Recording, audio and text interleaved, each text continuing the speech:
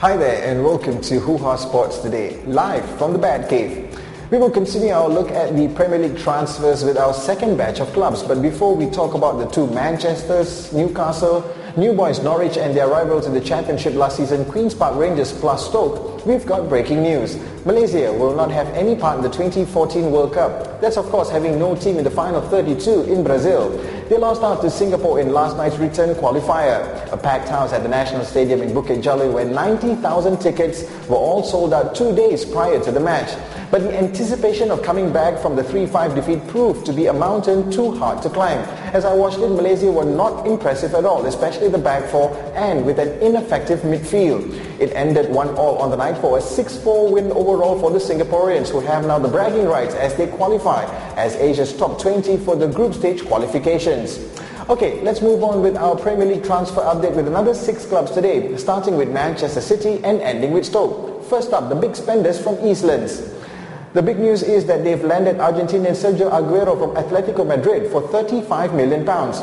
Some say 32, others claim 38. But what's quite certain is that he will earn somewhere around 200,000 pounds a week. And most players already at City aren't happy by the way players' salaries are negotiated. While the other new signings are Montenegro's Stefan Savic from Partizan and Arsenal's Gael Clichy for a combined total of 14.5 million pounds.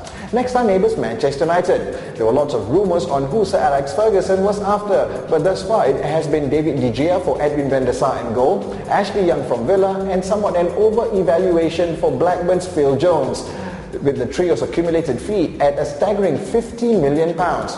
Now, would it be enough for them to retain the Premiership? Hard to say, but we will be certain in true United fashion after the Christmas run of fixtures. Next, we have the Toon Army.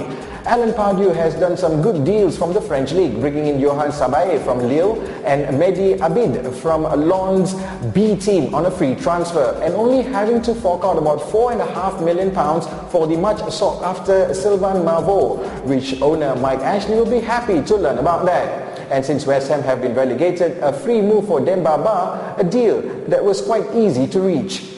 Before we bring you news on Norwich, who have been extremely busy, and also QPR and also Stoke, here's something we like to call, if you can do it, I can do it better.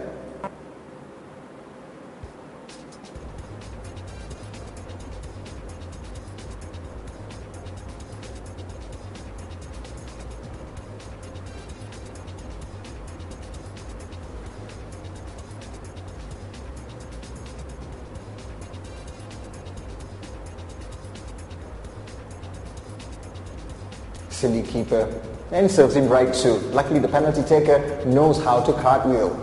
Okay, back to more transfers in the Premier League, and we spend some time with newly promoted Norwich. They don't have deep pockets, so buying smart and buying lesser known names has been good and bad. But survival is the objective, so the Canaries have brought in Steve Morison from Millwall, Bradley Johnson from Leeds, Anthony Pilkington from Huddersfield, Richie De Laet, who is on loan from Manchester United, Elliot Bennett, costing 1.5 million from Brighton, a pretty pretty decent purchase of James Vaughan from Everton, and Spurs Kyle Naughton on a loan signing. All the deals uh, for, will probably cost them about 7 million pounds, and let's just hope the squad is strong enough to keep them in for another season. Next, we move to newly promoted side Queen's Park Rangers. No significant movements, but they have coughed up some 1.5 million pounds to bring in some auxiliary players. So that means we will round up our second batch of Premier League teams with Stoke. They too are just looking to strengthen their squad from last season, which is pretty much well poised for a mid-table challenge. They brought in keeper Daniel Bachmann from Austria and poor old Jonathan Woodgate from Spurs on a free transfer. If Woodgate can give them at least 15 to 20 full match appearances, it would count as a great buy, knowing his injury problems.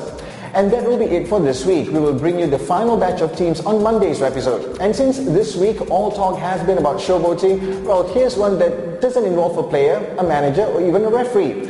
And the one in the limelight is the medic. Until Monday, you have a great sporting weekend, and it's bye for now.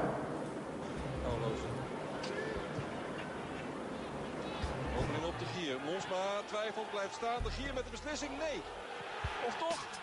Nee, de zorgen houdt de bal uit de doel. En nu, wat gaat er hier gebeuren? Kijk eens naar de Gier, die scoorde. En wat gebeurt er hier allemaal op het einde? Nu nog een keer dat moment. Via de Gier en Monsma hobbelt de bal richting doel.